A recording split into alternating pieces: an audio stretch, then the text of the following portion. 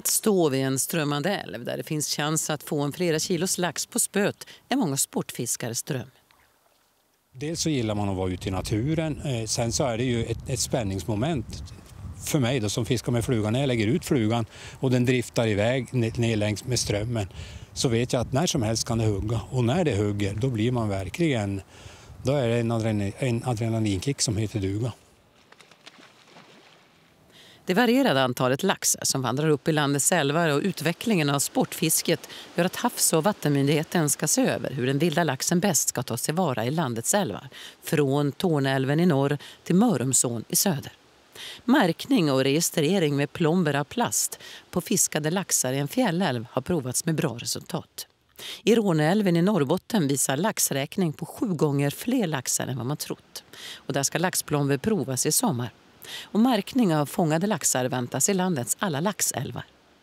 Att man måste ha koll på fångstuttaget. Och vi tror att det kommer att komma betydligt högre krav från EU vad gäller den här förvaltningen i laxälven, att man ska kunna leverera de här uppgifterna.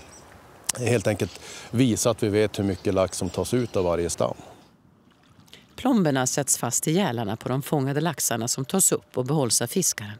Laxens vikt, könet och var fångsten skett rapporteras sedan av fiskaren via en länk på internet så att fiskereglerna kan skärpas om mycket lax fiskas upp.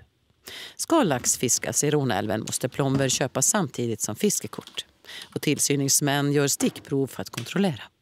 Laxplomben är också ett sätt att prisreglera olika fiskekort. Kanske ta min första ronälvslax. Skitfiske på dig! Ja, tackar. Hej då. Det ökade intresset för sportfiske är inte bara ortsbefolkningens fritidssyssla utan på många platser i landet även en inkomstkälla för företag som erbjuder service för tillresta fisketurister. Ja, glesbygden har ju möjligheter att eh, skapa arbetstillfällen. Dels inom eh, övernattning, dels när det gäller guidning och sen uthyrning av båtar och sådana saker. För ett arbetstillfälle av det här slaget, det kan man inte utföra någon annanstans än i Älvdalen.